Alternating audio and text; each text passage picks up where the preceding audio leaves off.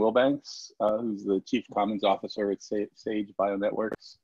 Um, John's got a, a, long history. He was part of the, um, he was one of the, the, early board members of the Transmart Foundation. Um, and, um, and, so has, has certainly been uh, aware of the foundation and the things that we're doing.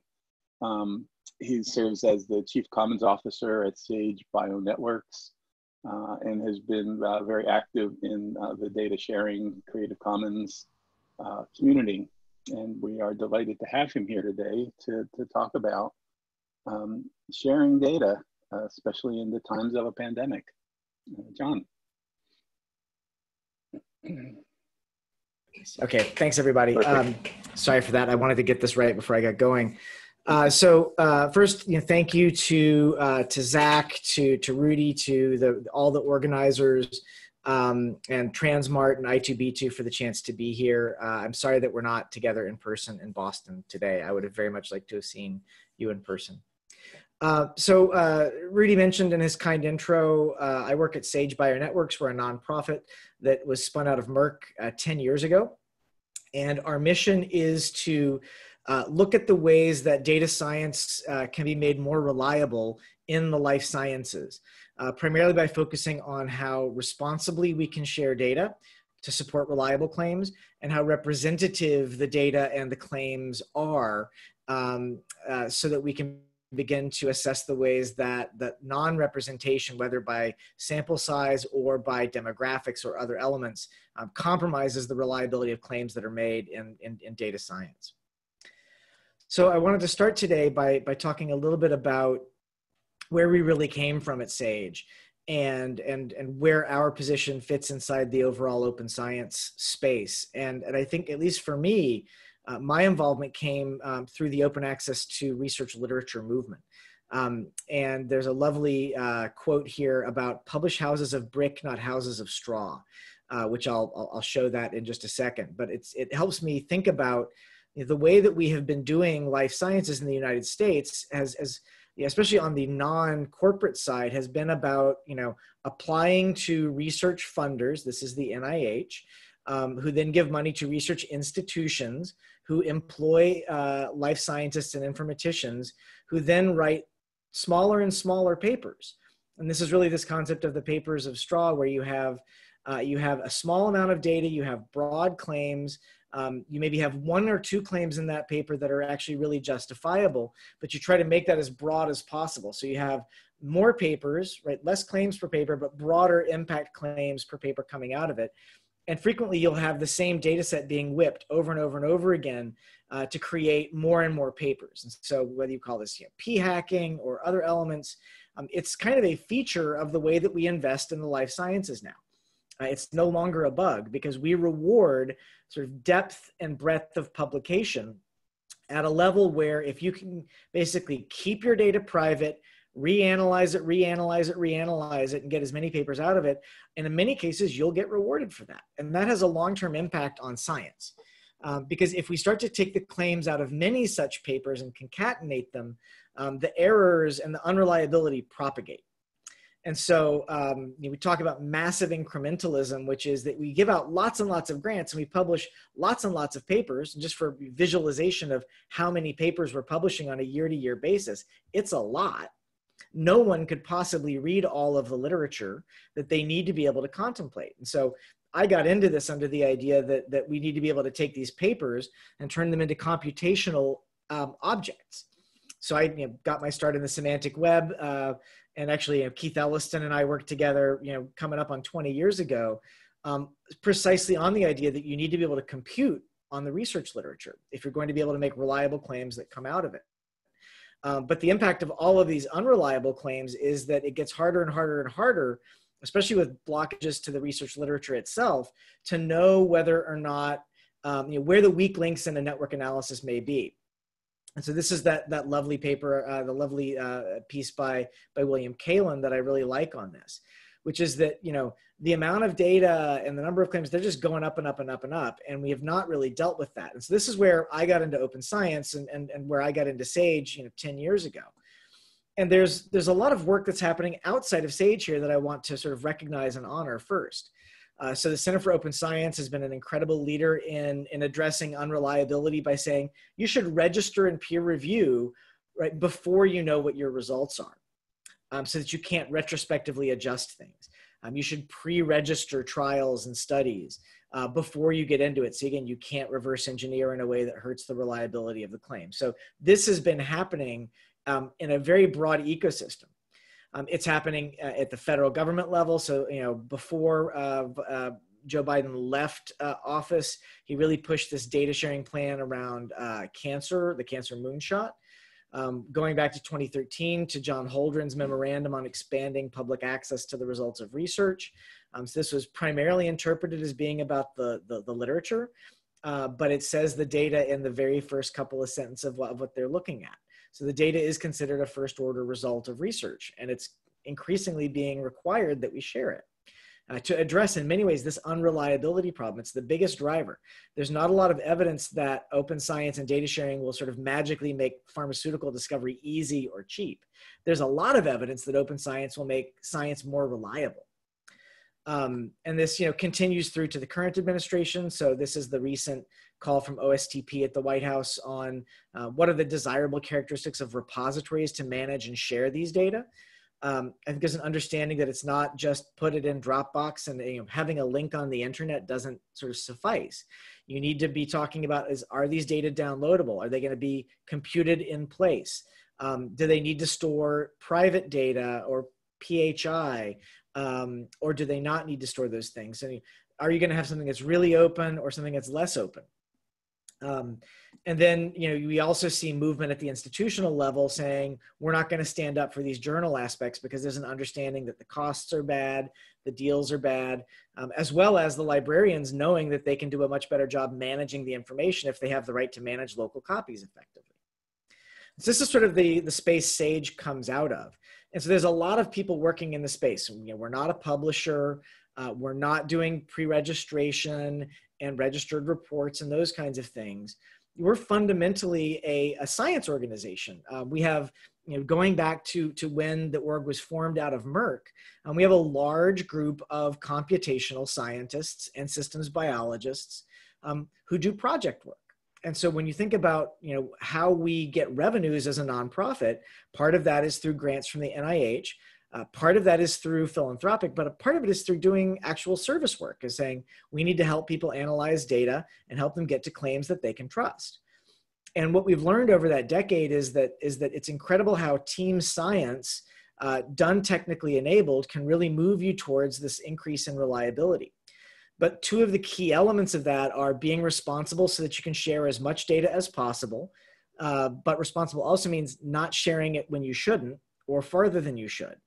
Uh, representative, which is saying, are we getting enough eyes on the data uh, with enough epistemic and other kinds of diversity of the kinds of eyes that are looking at that at those data to make sure that the claims that are coming out reflect consensus models or consensus benchmarks? And increasingly trying to think about where we can take representation beyond that. Uh, but all in the service of can we actually draw claims out of data that we think are justifiable so I'm going to walk through some of these elements, and, and, and this is all relevant in a pandemic, I promise. Um, in fact, I would argue that uh, the pandemic has not fundamentally changed things with open science. It has simply accelerated those things. Um, and, I'll, and I'll get with that in a second. So, so what do we mean by responsible? And I'll start with um, mobile health because mobile health is a field that doesn't have a lot of the built-in inertia of you know oncology or neurodegeneration or some of the other spaces that we work in um, it hasn't had the sort of lifespan to develop the institutional crust uh, that these other fields have developed. And we got into this moderately early in 2013 as we started thinking about can we measure Parkinson's using no more than the phone? And so, from a data generation perspective, we realized that you know pretty easily we could test motor initiation, gait, uh, some vocalization, and some memory just using the touchscreen, the microphone, and the accelerometer on, on the device. And what's striking is if you make this jump away from measuring these sort of qualitatively uh, observationally is you can radically increase the dimensionality of the data that you capture so instead of going from a traditional measure like you know how many taps did john have or on a scale of one to five, how was John's tapping, you get this vast increase in the dimensions that you can measure. And those, dimension, those dimensions are great, right? They let you start to look at invisible impacts under the previous measure of just number of taps because you know, on the left we have a, a male individual and what we see is that uh, here's number of taps, mean tapping, median tapping. Um, and so this is an individual where uh, before and after L-DOPA, we would have been able to see a clear benefit to the L-DOPA dose. This is a woman on the right, and so number of taps is right here in the middle. It's not something that's going to jump out uh, as the, the tapping test doesn't show benefit from the L-DOPA. But what we do see changing in the standard deviation, the range, and the correlation um, is that this is someone who's who's doing better at tapping um, from a, an accuracy perspective significantly than she was doing before the L-DOPA. So this is, an, this is a, an impact of the drug that would have been invisible that we can now make visible. Um, and it's complicated because here's here's one individual over time, right? Day, every one of these is a day going left to right, um, and a, a, an arrow going up, and the length of that arrow indicates a day where the taps got better after L-DOPA. So you have a bottom dot before L-DOPA, a top dot after L-DOPA. So we can see that these are good days. These are days where the drug is working for whatever you know, based on the definition of tapping. But here in the middle, we see chaos we see bad days where the, there's the tapping gets worse after the drug. We see a lot of incomplete days. We see some outlier days, even where there's a benefit. And this is essentially a clinical hypothesis uh, that we would like to be able to dig into. What happened? What else happened in this person's life? Was their condition getting worse? Um, or were they doing the tapping test uh, while they were driving, or while they were walking, or while they were distracted by their kids? um, because to get into this you start to have so much data that it's it's really hard to to use of traditional clinical informatics tools you've got to start using consumer grade data analytic systems um, and this as we got into it we realized that we needed to share the data um, that doing this just the way that we did it we wanted to actually have the methods development bootstrap off of our data because um, even after having the data by ourselves for a year we still didn't really know what all the best methods were um, and we wanted to be able to share these data broadly so we could do that. So what's the governance for that? How do we do that responsibly? It starts with informed consent. Um, and if you're going to do informed consent on a device, we have to be very honest about the way that people share, the, the, the way that people read on screens. Um, so this is what's known typically as the F pattern. Uh, it's one of the two or three patterns that are the most prevalent as people read text on screens versus in print. And so this is done through eye gaze fixation tracking and saccade analysis. Um, and what you see is people don't read the whole page on a screen, not the way that they do in print. And this is true uh, in, uh, in, in web text. It's also true in legal documents like we're dealing with here. So we have to build for that. Um, we have to build for the fact that people scan. And so the same eye gaze fixation and saccade tracking studies indicate that people maybe read one out of three words on a screen just by speed of reading compared to what they read in print. Um, and so we have to account for both the visual flow of the eye across the page and for the fact that for some reason we seem to scan when we're looking at pixels compared to looking at print. So we, we cannot assume that just giving a traditional legal document will result in the reading of that document by the individual. Um, and even if they try to read it, their eyes may be fooling them and skipping ahead the way that they read. On top of that, we have a cultural element, which is that we accept legal documents we don't read on the internet all the time. Um, we have to click OK on privacy policies in terms of service every time we download apps, every time we visit websites that use cookies. And so we have become culturally conditioned to just simply click our way through. So if we're going to enroll people in a study like, like this Parkinson study, and we want to share their data broadly enough to do validated methods development, we have a pretty serious obligation to meet the responsible uh, aspect of this of this uh, ontology. So what we developed at Sage are, are these consent design patterns. So we have uh, on the left, you see the screen layout. Uh, so the layout that includes lots of white space. It has the, the, the icon, the headline, the subheadline, the learn more, and the next. So there's evidence from web journalism and other kinds of uh, other kinds of content providers on the internet that this mixture of an on-task picture, a headline, and a subheadline slows down eye gaze fixation to a, a speed that is much closer to print, if not equivalent to print, than than not using this kind of approach. Interestingly, if the icon is not on task, if the photograph is irrelevant, you don't get the benefit. So the theory is there's some sort of cognitive processing that happens as you try to connect the icon to the text that you see that slows you down and gets you to think about it. And so this is a this is a methodology that we developed and it actually works pretty well. You can convey relatively complex issues. You can tier or nest more information at that learn more screen. Um, you can turn the icon into a video uh, if you don't want to put information back on a, on, a, on a hidden screen, you can do an awful lot with this design. And what you build is essentially a, a user interface to the legal document because you know people aren't going to read the legal document as carefully as you want them to. And because in an e-consent, you don't have a clinical research coordinator sitting there to help uh, with any questions. Because we'd like to share the data broadly for these methods uses, um, we decided not to do that um, as a default. We wanted to make that opt-in only. So uh, this is a screen that's presented to participants in this study and other studies that we run. Uh, we do not set a default. So it is, it is set originally as, as blank and you have to choose one of these two options, either to only share my data with SAGE and its partners on the protocol or to share the data with SAGE and its partners and qualified researchers worldwide and uh, you get a second little consent loop uh, of, of, of, interface content around this issue of what's a qualified researcher because that's going to be something that's widely available in this context. And uh, for what it's worth about uh, two in three participants elect to share broadly with qualified researchers worldwide.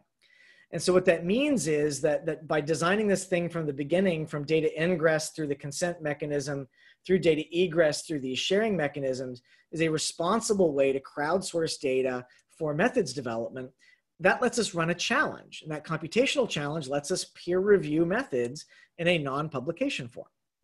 And so this is a really interesting application of open science for me because what it's doing is showing a different analytic route um, to validation or at least um, um, evaluation of the claims that come out of the kinds of algorithms and feature extraction tools um, that you can build on these kind of data, which is a great thing to do when you don't have, uh, as a field, a basis for what's a meaningful, valid algorithm, what it needs to look like. Um, and and you know this process works pretty well as it turns out that you can enroll a lot of people um, it's, uh, and we could, I could give an entire hour long talk about how hard it is to retain and engage those people, but you can at least get them in the door and doing some initial work relatively easy with these kinds of approaches. Now, as again, open science organization, we want to distribute and give away the ways that we did this. So the first thing we did was deposit as much of this as we could in GitHub. So this is hundreds of uh, hundreds of icons that are open source uh, or public domain, uh, as well as templates. So uh, the protocols that we filed, um, the uh, you know a, a sort of a, a, generalized version of the protocol or the template that's designed for customization, um, user interface templates that are in designer friendly formats like Photoshop or Figma, so that it's really easy to grab these kinds of things and bootstrap up your own kind of study. And this is really important because people may be willing to do ethical things, but they don't want to do much more than do a Stack Overflow query to find them. So by working with Apple, we were able to push this sort of methodology uh, into the ResearchKit framework by working with the open, open source ResearchStack equivalent on Android. So we've now got this visual consent baked into two, the, the two major stacks that you use to develop, the iPhone and the Android one. Um, and so this gets at how, you know, if you take responsibility seriously, you can do an awful lot um, when it comes to, to sharing data, even if it's not open, right? What I described as data that sits under a data use agreement is downloaded by these qualified researchers who then generate and send their algorithms back. They're not supposed to retransfer those data. And we have to work on making sure they don't retransfer those data. But we can then share broadly, but not to the whole world as a way of mitigating the risk of sharing the data.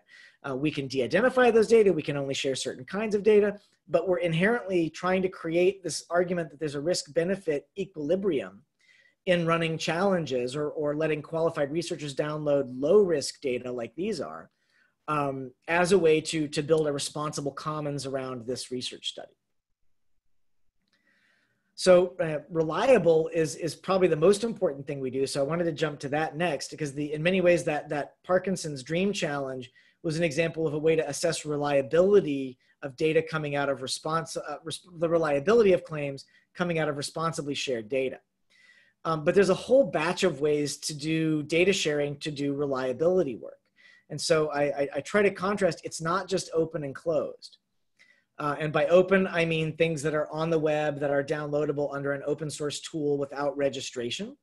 And by closed, I mean the vast majority of, of, of sort of pairwise one to one or lab to lab collaboration that happens where people just share data sub rosa through Dropbox and what have you.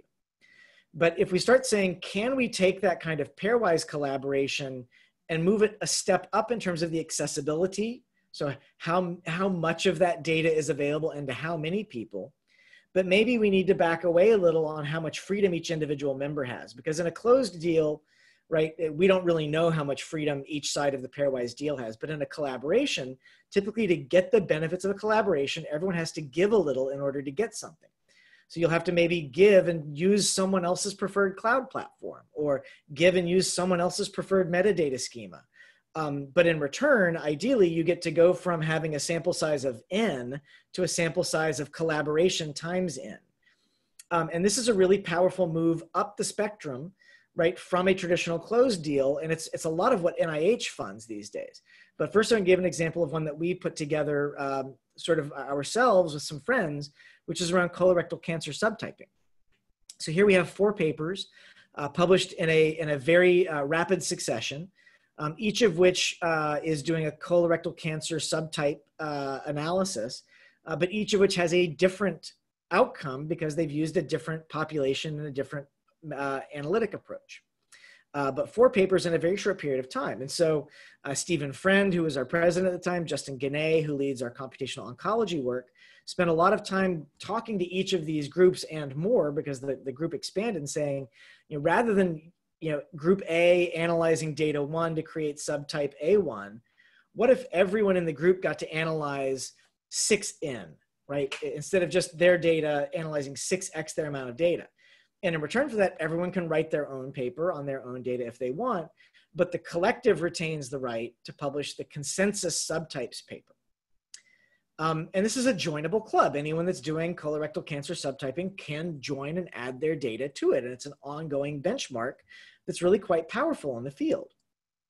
And so what you've got here is a case where the collaboration is a joinable club right? So it's more liberal than closed, but it's definitely not open. But what it's publishing and making open and really available is this consensus benchmark model, which is really useful now for the field by setting a floor that says, you know, can you meet or beat these consensus benchmarks? And if so, you need to be able to talk about that. And if not, you need to be able to talk about that. Sandbox is another uh, model that we're seeing happening again and again. And a, a different phrase for this might be um, trusted research environment, which I've heard from Tim Hubbard uh, in the UK and others. And there's a couple of ways to do a sandbox. One would be a sandbox where um, you have a pretty aggressive process for uh, requiring people to work in it. Uh, and another would be one where you've actually literally you can't even download the data you've got to go compute on it in place but either way the sandbox sort of goes up the tier because it's frequently required by the funder that you participate in the sandbox um, and so uh, it's, it's, it's a really interesting model here. So one version of this would be the Accelerating Medicines Partnership Program. So uh, this is happening in a variety of diseases through the NIH. It's, it's public-private co-investment. Uh, we're involved in the uh, AMP-AD, which is for Alzheimer's. And so that specifically involves NIH, uh, 10 biopharmas, and a bunch of nonprofit orgs um, that are working on, can we basically diversify the way that we find Alzheimer's targets um, uh, with the idea that if, if multiple labs with multiple methodologies arrive at the same target, then the odds of those targets being uh, sort of false positives um, uh, goes down somewhat because you're, you're defeating the noise of any individual laboratory's method by getting that epistemic diversity by integrating them into a sandbox. So in order to do this, especially the part we work on, which is target discovery, we have to coordinate the, the early phase uh, insights into a shared model each of the labs does their own thing but again to get that collaboration they've got to give up and work in a collective technical environment which is synapse at sage. Um, we have a team of curators and data wranglers and computational neuroscientists who then work on making sure those data are harmonized um, and, and, and very effectively shareable. Uh, and then there's a there's a resharing back out to do the validation. And then uh, one of the interesting pieces is that we can then transition out of this sandbox to a public uh, or an open data environment where we publish the processed information, the cleaned information, the engineered data out to a data portal where you can see things like this is the wall of targets that are emerging out of these. And you can see very quickly you know vgf vascular growth factor came out of three different uh, laboratory environments three different uh, three different of the collaborators each found this independently and you can then browse down to all the relevant data just by clicking on it you can get all the network analysis um, you can access the code you can even access some of the physical tools that were used to generate this through the AMP-AD data portal and this turns out to be really important. So, why is reliability important? Well, because the NIH wants to actually fund to this. So, this was all phase one AMP-AD. Phase two AMP-AD is about drug discovery.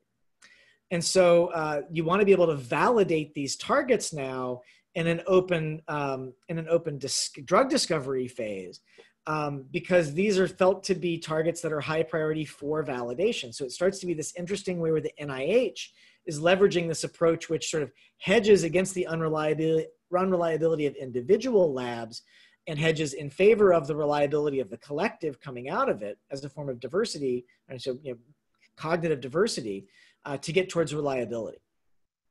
But I've used the I've used the word diversity a couple of times, and I want to sort of talk about what does that mean in terms of representation, because it's one thing to have epistemic or cognitive diversity on these things, uh, but frequently that means uh, simply getting more white people uh, involved um, and more of the people who are already powerful. That's clearly not what is behind all of the goals of open science. And so representation is a key piece of this.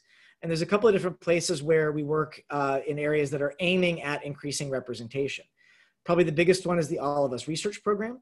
So this is a, a large, uh, extremely large, federally funded, uh, decade plus uh, cohort study think of it as the Framingham cohort for the 21st century, um, that has a mandate to overrepresent the underrepresented in biomedical research um, so that anything that is built out of this large public resource um, will ideally have less algorithmic bias um, than those that are coming out of the smaller things that don't have representation as a core value. Um, so, you know, if you go to the uh, the research portal, uh, you can look at the data snapshots. That's what these are. So you can see sort of the, the scale of enrollment in the project at this point. And from a representation perspective, uh, the project has met its goals to date. So uh, more than half the cohort are, are racial and ethnic minorities, um, and over 80% of the overall cohort meets at least one variable that qualifies as underrepresented in biomedical research. And the idea behind this is, again, let's share this data as responsibly as possible. If we can make it representative, then we want to share the data responsibly to drive methods and insight development on these representative data. And so the process there is, is, is, is this sort of sandbox environment, right? But unlike AMP, where the parties involved are sort of working in a private collaboration in a, in a mandated sandbox, this is an open sandbox. And so to create an open sandbox, you have to reduce some of the freedoms of the people who use the sandbox. And so the big freedom that's reduced in the All of Us sandbox is you can't download the data. You have to go compute in the trusted research environment as a modeler. So that's the idea is that you can go there as a modeler, do exploratory data science, but you're not going to be able to exfiltrate data in a way that would let you redistribute it, that would let you per perhaps pass it on from party A to party B to party C to creating the Cambridge Analytica style of data breach and, and, and trust violation that we're dealing with. Um, but all we've done here is increase the representation on, on the those enrolling. Um, we haven't talked about how do we actually increase the representation in those who are able to ask questions.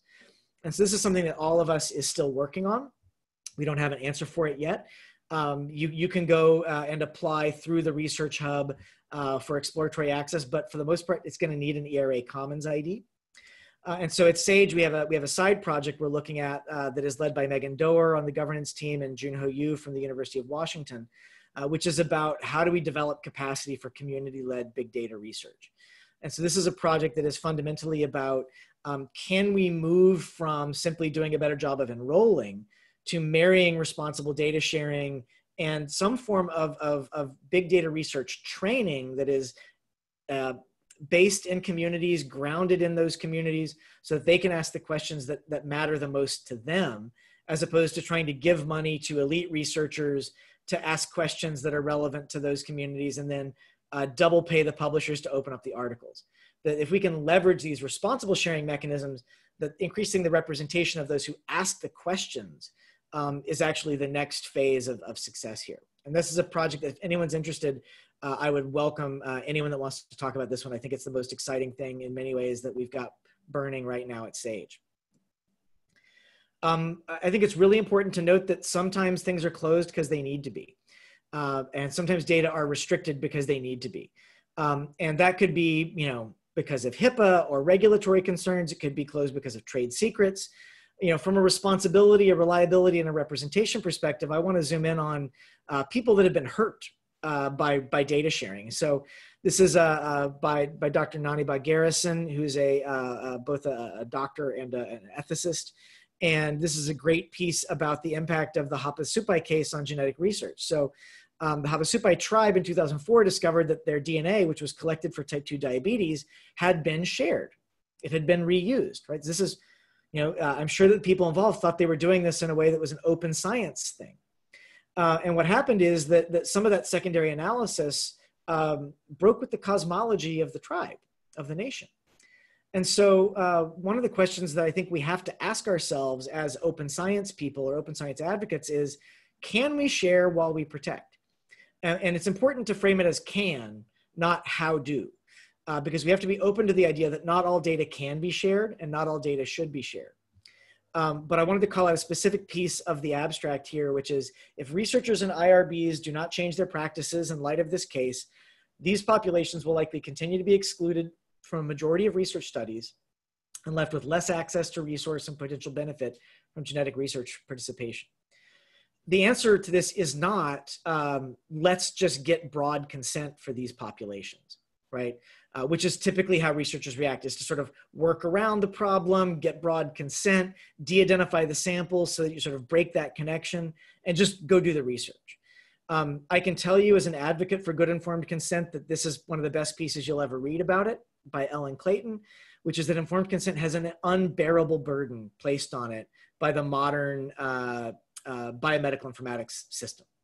There's too many possible reuses. The harms are so multivariate and so hard to trace that that just saying you know consent better, even if we do the kinds of UX that I showed earlier, it just doesn't cut it. Um, and for those of us who are who are not in populations that have been actively hurt by biomedical research, um, we have economic harms, at least in the United States, we have to think about. Um, it is still legal to discriminate against Americans for their long-term care and disability uh, in educational context and in certain employment contexts based on their DNA. And so uh, we need to be very careful to think about, you know, can we share while we protect? And so one of the other models we've developed, which is, you know, and it's it's both new and old, like a lot of things in computing, uh, it looks a lot like time sharing in the old days because what you're talking about is can we build these alternative models to make crowdsourcing possible while maintaining the data restrictions and enclosure necessary to protect the people represented in those data. And so we call this model to data. If the sandbox is the if, if the sort of if the all of us is the sandbox where the modeler visits the data um, this is an even more protected model where the model only the model goes to the data. And so the idea is instead of, you know, giving challenge participants like in that Parkinson's challenge a copy of the data that they then download, process locally, and just send their predictions back for scoring, we act as a data steward. So we receive the data from somebody like in, uh, we have one was a digital mammography challenge. We received nearly a million mammograms that were available for analysis but not consented for sharing. So we were able to enter into a pairwise contract host those data as a steward, generate a synthetic data set to allow modelers to train on and containerize their models. And then they send us those models as submissions. We run them on the actual validation data sets, the real data, not the synthetic data, and then publish the scoring and, the leaderboards and, and the benchmarks. So this starts to get at a way where we can keep an air gap between the data and the modeler but still maintain a way to do exploratory research if somebody wants to. And so, you know, the idea here is that these are all a suite of processes. Open science is this spectrum of sharing. It's not just license your data or say it's fair. There's this entire system technical, cultural, scientific practice around it that's required to make the use of the data uh, useful uh, to the actual scientists who are trying to draw claims out of the data. Just posting it and thinking that's going to be transformative is not something that we've seen a lot of evidence for in our own work yet. So um, I promised to be uh, somewhat COVID relevant. So what I want to propose is that open science, particularly governance of open science, um, is fundamentally a, a, a, form of management discipline. Um, and it's something that we often relegate to lawyers or to junior staff uh, or to simple open source licenses. But I, I, believe that if we treat it as a first order management discipline, that we can get some real breakthroughs. And so I want to talk about a project that we've been working on in COVID that's an example and sort of an existence proof of that, of that concept. So if we say, fine, I've given you this theoretical framework, but what does it mean for me? If I want to build a new commons, is it an intervention that makes things better, faster, or cheaper? So uh, we all know that we're in a pandemic. We all know that governance can, can hamstring things in a pandemic if it's not done right. So this is uh, Megan Doerr again from SAGE and Jennifer Wagner, uh, our dear friend from Geisinger, uh, wrote this piece where they analyzed how the Seattle flu study was actually blocked from uh, repeatedly from reanalyzing their nasal swabs for COVID. Um, and you know went and did the right thing went to their local irb got the emergency research exemptions you know shut down by the feds shut down by the state in a way that really delayed the response so doing things in a pandemic it's it's, it's not a guarantee that that the pandemic will wave away uh, research restrictions um, even when they need to be right? Um, what's clear is that that pandemics and other areas really make it complicated to create a commons or to reuse or to reshare because in some cases there might be some uh, laws and regulations that are trying to ease those burdens to respond but in other areas those laws uh, may be in conflict. And so the question is if you can think about what i've just shown and say does this does this framework let us rapidly design data resources for the kinds of uses that we intend them for so SAGE is, is, has been a part of the uh, CD2H, the Center for Data to Health, which is an NCATS CTSA uh, uh, program community support organization run by Dr. Melissa Haendel at OHSU. Uh, and thanks to Ken and Jinji at, at NCATS. Um, and then also a lot of what I'm talking about is Justin uh, Guinney at SAGE here. Uh, so this is a group that is, is, is aimed to serve all the CTSA program hubs.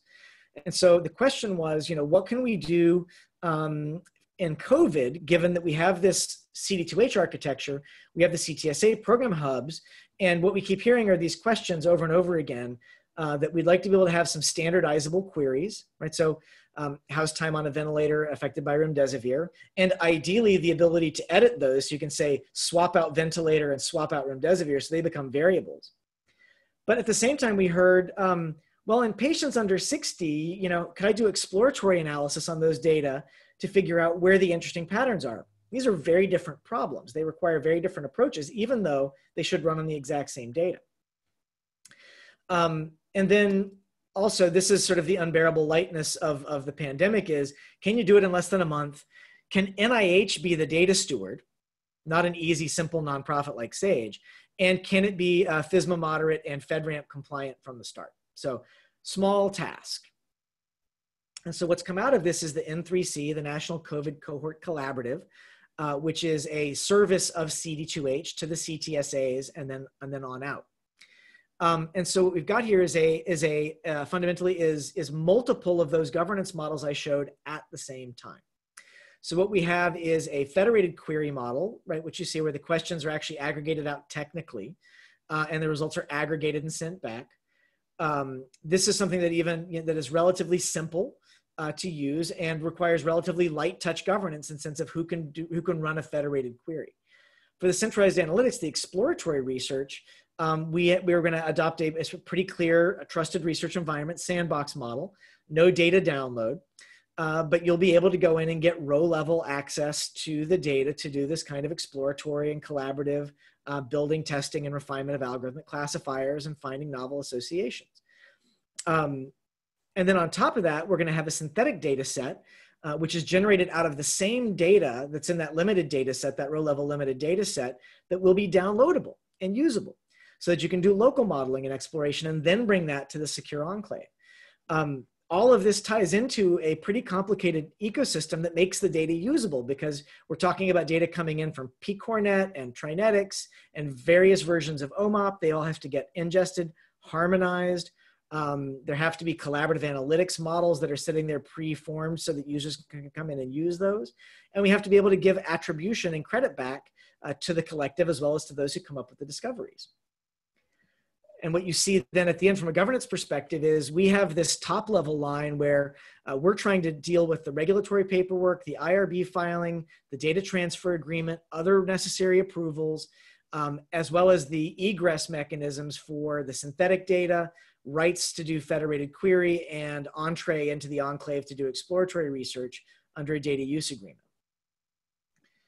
So this starts with you know Melissa on March 18th uh, sending this this email out to the PI list from that. Um, the tools we have available are uh, for Sage's perspective, we have contractual patterns, the qualified researcher process. Thanks to the Smart IRB program, we have reliance agreements and all sorts of, of institutional regulatory ethics collaborations already in place. And because of the federal demonstration partnership, we have the contractual patterns that let different institutions uh, come to economic collaboration legally under the government. Chris Chute at Hopkins volunteered to, to be the single IRB for this and shepherded that protocol through. Christine Suver, for, who leads the governance group at SAGE, drafted the DTAs and the DUAs, the data transfer and data use agreements. Um, the, uh, the standard operating procedures around attribution and credit are are, are in process now but because we had these mental models in place and we have all of these existing standard management toolkits available this is our time frame. So from 318 to 51 single irb joinable protocol approved. And as of yesterday 37 institutional signatories and bits are already flowing into the, into the repository. And so this is what you can do if you think of governance as a management discipline and not as an afterthought or something that's the realm of lawyers and what's emerging is this entire suite of tools that you can use, even in a pandemic, to rapidly stand up uh, data resources that are intended to be broadly available. And what's interesting about the N3C to me is the three routes. So rather than trying to make one product that meets all the needs of the, of the potential user population, we have the federated query product, the synthetic data product, and the limited data set for exploration product, which each have their own regimes, but they're coming out of the same data pipeline. Uh, and the value of that is that we can have different access tiers for those different kinds uh, of tools, um, which get, lets us give access to a very broad group without sort of hamstringing the expert's ability to do exploratory work. Uh, and if this is of interest, uh, here's where you can find uh, the, the website. If CD2H is a place you've not engaged with, I would encourage you to do that. There's yet another Slack uh, that you might join to do such a thing, but it is a great place to engage in the sort of emerging hybridization of how do you take the cloud and governance to do the responsible, reliable, representative data sharing to make the claims coming out of this as strong as possible? So I'll stop in a second and, and we can do Q&A. Um, if I leave you with one thing, I, I want to leave you with this, that it's not about open versus closed. If we're going to build these commons, there's not going to be one commons uh, that comes from one open data license. Um, I wish that that were the case. You know, I spent a long time pushing for that, but that's just not how it is. What we're going to have is something that looks a lot more like um, a variety of commonses uh, that are managed in ways that are locally relevant and, and, and where the aspects of those managements come, come from those communities, including the people represented in the data. But if we don't make the data itself, those artifacts usable, if we don't embed them in a technical commons that enables their analysis, we're going to miss a lot of the opportunities that are there at the theoretical level for, for data sharing. Um, I showed you this. I want to leave you with these two questions on this graph, which is who gets to decide which model is chosen here? And who has the power to change if the wrong structure is chosen? Um, this is typically not the individuals who are represented in the data. Uh, it is typically the most powerful or the best funded institution and so, as we do these sorts of collaborations, we need to contemplate that power and find ways to normalize, equalize, and make that much more equitable and inclusive. Um, because what we don't want is a world where all of these commonses look exactly the same. Their diversity is their strength. Um, and this, in many ways, comes from Elinor Ostrom's work. So, uh, Dr. Ostrom was a political scientist. She won the Nobel in, in economics for her work that demonstrated over and over again in setting after setting, qualitative, quantitative, lab work, field work, that groups of people figure out how to solve their resource sharing problems. That the tragedy of the commons was a thought experiment that's not supported by data in the vast majority of cases. So as we think about building research commons, it's not about building a research commons, it's about building the research commonses. And, uh, and I'll, I'll leave you at the last with, with her eight principles on how to build one. And maybe you'll see some echoes of in what I've talked about of these eight principles. Um, the most important ones to me, you know, uh, that are often not um, contemplated are ensuring that those who are affected by the rules can participate in modifying the rules. That's really, really, really, really important. Um, low cost methods for dispute resolution is really, really important. And using graduated uh, sanctions for people who violate, because most people don't violate because they're bad, they violate because they didn't remember the rule. So you don't want to start by nuking people, you want to start by slapping them on the wrist, but you have to be willing to graduate up to nuking them if they continue to behave badly, because if you don't, that's how you create the tragedy of the commons. So uh, my, my whole concept here is, is, is let's embrace the diversity required to share data responsibly. Let's talk about the relationship of that diversity to the technical standards and platforms that we need to analyze data in group environments, which is very real. This is not an, an, an argument for a thousand metadata standards blooming or a thousand data formats blooming. Um, it's an argument for recognizing that there are these repeatable patterns in governance space that look like model to data and sandboxes and collaborations. And we can design from a management perspective, systems that make it relatively easy to stand up ethical, legal, but scientifically innovative and supporting research environments to get more eyes on more data faster. And with that, I'll stop. Please feel free to email me. This is my Twitter handle. And thank you again to the organizers for having me today. Thank you, John. That was fantastic. So I'll open this up for questions. I know um, Doug McFadden has a question and he is in the panelist box, so he can't put it in the Q&A um, question. So Doug, I think you can unmute yourself and just ask the question.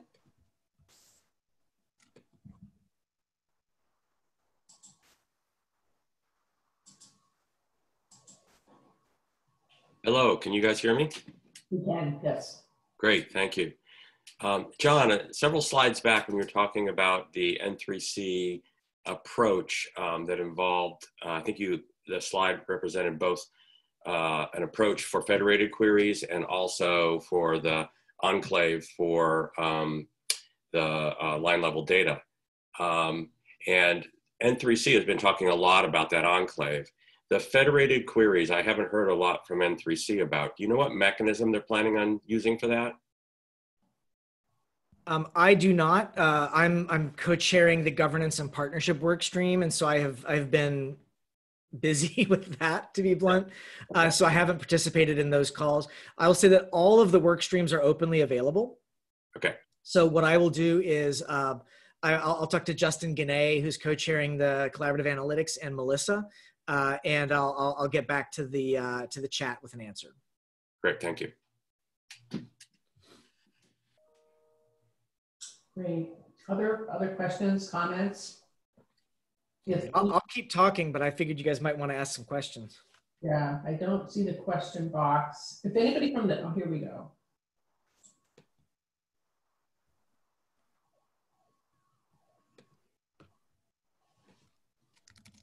Uh, what are your thoughts about speed of modification of a given uh, commons in high pressure situation like the COVID pandemic um, with lots of collaborators who should naturally have a say in it?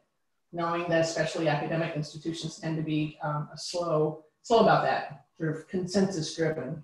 That's a great question. Um, that's so modifying a commons is one of the hardest questions you've got, right? Who has the right to modify it and when? Um, because in many cases you wind up replicating the problems of democracy, which is a kind of a tough place to be when you're just trying to do science. Um, so, so you know, my my general bias is that um, it, it sort of depends on what you're trying to do and, and what your data looks like. So if you're going to be doing a clinical research study with a population, um, then you need to have some form of participation from that population before you modify, particularly if you're going to increase or decrease the amount of sharing. Uh, like if you're going to transition from one of those structures to another one. Um, I think that that's that's something you want to have the participants involved in. Um, you know, to me, you sort of have a, a loose stakeholder group that is you know, the funders of the research, uh, the PIs doing the research, representative uh, of those who are represented in the data is sort of the ideal mix. Um, but it's not sort of you know a, a, group vote where everyone who is a participant or a line level analyzer you know, gets to vote raw, right? Those are pretty easy to game. Um, and so, you know, most of the ones that I'm in have adopted what I would call sort of a rough consensus approach, where you try to get um, you try to get to a rough consensus. You don't try to get to unanimity on everything. Um, you have to create a culture that sort of disagree and commit uh, inside that, which means you've got to get the whatever the answer is is got to be close enough that someone, even if they disagree with it, can still commit to it and back it. Um, it's probably the least formalized element of, of of the stuff that I showed, right?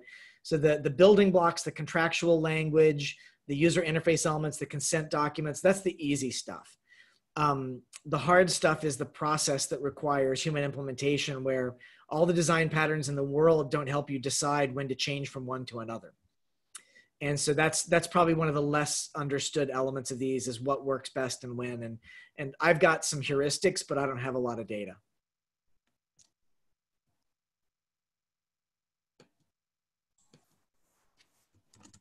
Other questions from the group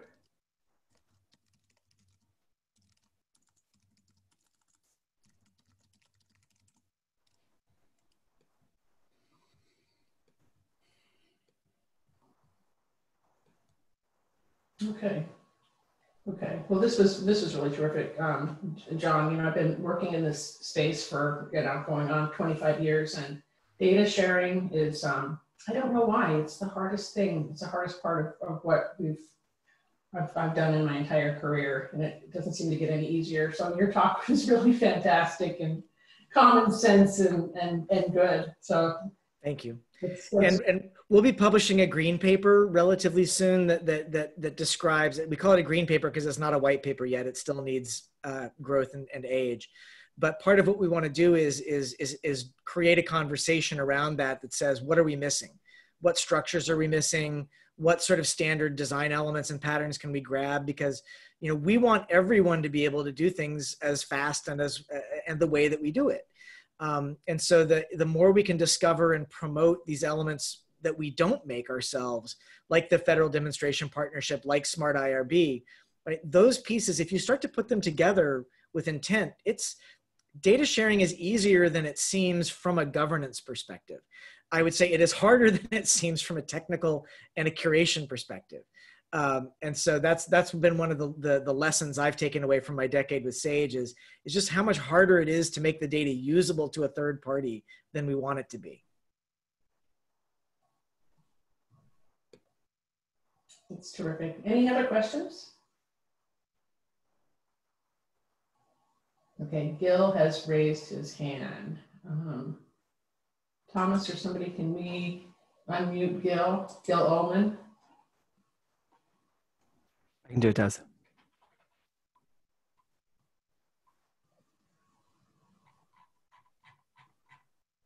Gil.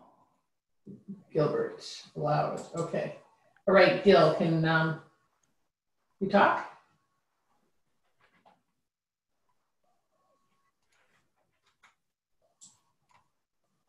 Okay, now I think you can hear me. Yes. Yes?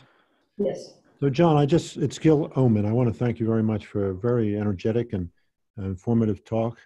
You've been in leadership on these issues for a long time.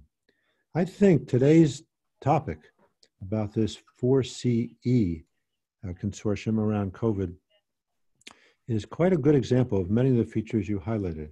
It is a totally voluntary operation.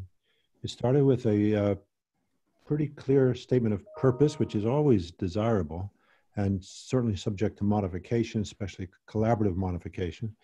But it's better than just saying, send us data or, or um, let's collect data without having a sense of real purpose. And in this case, urgency. The capacity to, uh, under Zach's leadership, and a very strong team in Boston, to mobilize people around the US and Europe was driven by the availability of the I2B2 platform, which you know extremely well. So I, I think that's all uh, about trying to suggest to you that you have a emerging but quite promising, maybe really already very good model for some of the points you just made.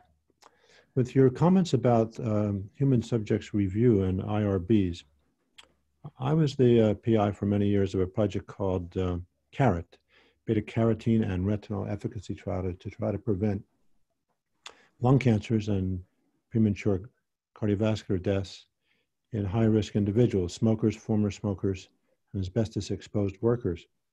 And one of the innovations of that long project was to uh, bring together the seven major institutions, each one of whom, of course, had its own editorial board called the Human Subjects Review Panel, and uh, to work with the NCI, National Cancer Institute, and each institution to agree that we should have a templated um, informed consent document across the institutions and that we should have a single point of approval that each of the institutions would agree to respect after having a large hand in its design and governance and content. And we published this in the journal called Clinical Controlled Clinical Trials in 2002, and it became a feature of um, NCI and NIH policy. So I think innovation in governance and innovation in data sharing and collaborative or sandbox research uh, has a useful track record and certainly needs to grow. And the kind of uh, comments you've made today have put us on an even better path. Thanks very much. Thanks, Gil. Um, mean, I, it, it, one of the interesting things about this is I say that governance doesn't scale very well, but it certainly seems to rhyme because the same batches of solutions I think are in play. And what's different now is the is if we sort of embrace some diversity right in the commons is that we form if but but then we think about how do I, i2b2 and some of the backbench you know tranSMART how, how do these architectures allow for two commonses to then merge or form a, a, a collaboration later that there's actually a way to start generating network effects by having these you know the the the small number of technical platforms and technical systems that we need support a large number of commonses that then can make uh, agreements to, to merge with each other or federate with each other. And it's this bottom up way to start getting interoperability that is project centered and as you know as you noted hypothesis or problem statement centered um, which has been you know something i've learned at sage is that starting from you have to solve a specific problem even if you want to make a general thing it's got to actually solve some real problems for real people right. it's an incredibly powerful forcing function for governance and, and i think for technology and scientific practice as well and so you know, can we take these things that that that you know the NIH is invested in, like you know these kinds of these kinds of innovations that have been out there? Can we assemble them? Can we make them a discipline, a professional field whose job it is to make it possible to do interoperable research at scale? Because um, that that's what I think we do in governance at Sage that other governance groups don't do is that we think that's our job right? Is, is to is, is to enable that interoperable research in the cloud at scale. Um, and, and and the pieces are there right there's not always willpower there's not always urgency as you point but but the pieces are there and have been there and a lot of what sage is doing is just reifying them formalizing them and labeling them very good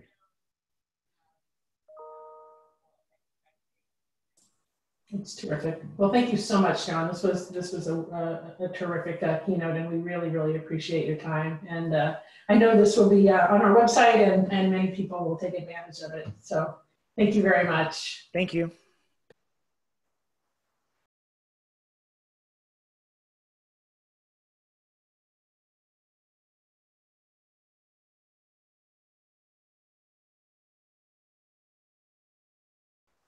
So now we're going to be uh, breaking for lunch, but I think Rudy Potenzone is going to, as uh, for the few people who want to stare at their computer while while we're at lunch, um, it's going to uh, talk, a second about our um, virtual poster session. Rudy, are you there? It? Okay, so on the website, I do have like a table of contents on the posters. It's uh, under this tab called View Posters. We've just got all the posters that we have. We have 11 posters. Thanks for the poster authors putting them here. So if you just want a quick overview, they're all, they're all here with the authors and the um, uh, abstract take a quick look. But the, the real thing that you want to, do is uh, jump to the Slack channel. Now on the Slack channel, we have, um, this is the Foundation Slack. Uh, again, from the website, you can join if you don't already. Um, um, it's on the other screen. Okay, sorry about that. So again, in the Foundation Slack channel, you'll see a, uh, a channel on Slack. There's a channel called Poster Session, and all the posters are loaded here. These are all PDFs, I believe, and you can download them and look at them. If you click them, I think you get a nice readable size of each poster, which is very nice. Uh, and then each poster has a thread created. So there's a, a thread for each poster that then brings up a, a thread window on the side here, which you can write comments, questions, whatever. Uh, and then the authors are going to be monitoring these so that you can uh, go over and you know give you answers and we can have an interactive session. So the hope here is that we can have a nice interactive session on all of these and the um, uh, we can you know uh, not as good as walking around and looking at the posters with a cup of coffee or a glass of wine in your hand, but at least you have a chance to, you know, open up the, the posters, take a look, and then uh, ask questions of the of the authors. Uh, so we just wanted to highlight that for you. Uh, they're all here. There are 11. Uh, if you've got a poster all that you want to throw in, we can add it easily. So I just encourage you to take a look. Uh, look at the posters if you can, and um, please uh, interact with the authors, ask questions, um, whatever. We will leave this up. This is um, this will you know we'll, we will certainly leave this open through the end of June. You know, so um, if you want to come take a look, a number of the talks have a poster uh, related to their talk.